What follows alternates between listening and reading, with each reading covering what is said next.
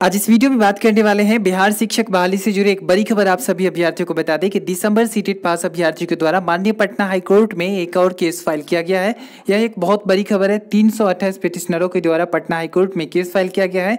Case आठ September दो हज़ार बीस को फ़ाइल किया गया है। रजिस्ट्रेशन डेट है दस सेप्टेम्बर दो हज़ार बीस और सबसे बड़ी बात कि इस केस में जो वकील रखा गया है, वो वाई गिरियो को रखा गया है और लगभग तीन पिटिशनरों के द्वारा ये केस फ़ाइल किया गया है। यहाँ पर देख सकते हैं case number C W J C by दो हज़ार बीस।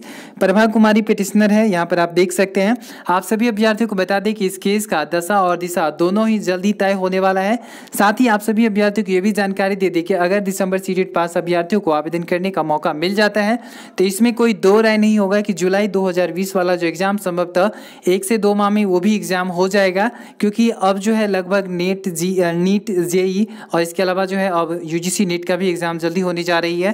तो इस आधार पर कहा जा सकता है कि अब जो है जुलाई सितंबर जुलाई 2020 वाला जो सीटेट वाला एग्ज़ाम है, ये भी जल्द ही हो जाएगा। तो कहीं ना कहीं अगर दिसंबर सीटेट पास अभ्यर्थियों को पटना हाईकोर्ट से अगर जीत मिल जाती है तो ये कहना गलत नहीं होगा कि जुलाई 2020 वाले अभ्यर्थी भी पटना हाईकोर्ट में केस फ़ाइल करेंगे। हालाँकि अब देखना यह है कि जीतता या हारता, ये तो बात की बात है। फ़िलहाल आप सभी अभ्यर्थियों के लिए एक बड़ी अपडेट यह है कि दिसंबर सीटेट अभ्यर्थियों के द्वारा एक और केस फ़ाइल किया जा चुका है, जिसमें वैविगिरी को रखा गया है। यह बिहार शिक्षक बहाली का दशा और दिशा दोनों ही तय करेगा। इस मामले पर अगली सुनवाई आपको याद होगा, दिसंबर सीटेट को लेकर के 21 सितंबर को होने जा रही है और बीएड वर्सेस डीएलएड का जो मैटर है, इस केस पर अगली सुनवाई 28 सितंबर को होने जा रही है। तो ये था एक बड़ी अपडेट वहीं आप सभी अभ्यर्थियों को बता दें कि लगातार जो है अभी नियोजन इकाइयों के द्वारा औपबंधिक मेधा सूची का प्रकाशन जारी है। कई नियोजन इकाई के द्वारा कक्षा छः से आठ तक का जो है अभी भी मेरिट लिस्ट जारी नहीं किया है।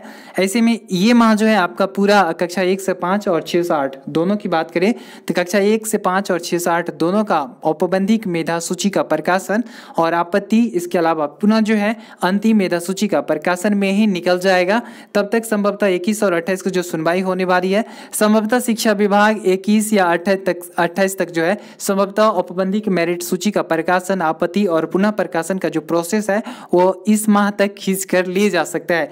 फ़िलहाल आप सभी अभ्यर्थियों को ज्वाइनिंग देने की बात नहीं कही गई है, शिक्षा विभाग के द्वारा क्योंकि दो दो केस है और इन दोनों केसों को जब तक फैसला नहीं आ जाएगा क्योंकि सबसे पहली बात यहाँ पर आपको बता दें कि दिसंबर सीटेट वाला मैटर में जो है अभ्यर्थियों को ज्वाइनिंग लेटर ही नहीं देना है।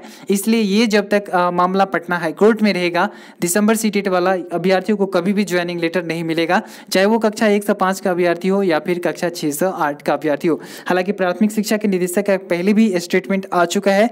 उनका कहना है कि चुनाव के बाद जो है कक्षा एक से पाँच और छः से आठ अभ्यर्थियों का जो है दोनों का ज्वाइनिंग लेटर दे देंगे, लेकिन इससे पहले जो भी प्रक्रिया है वो पूर्ण कर लिया जाएगा।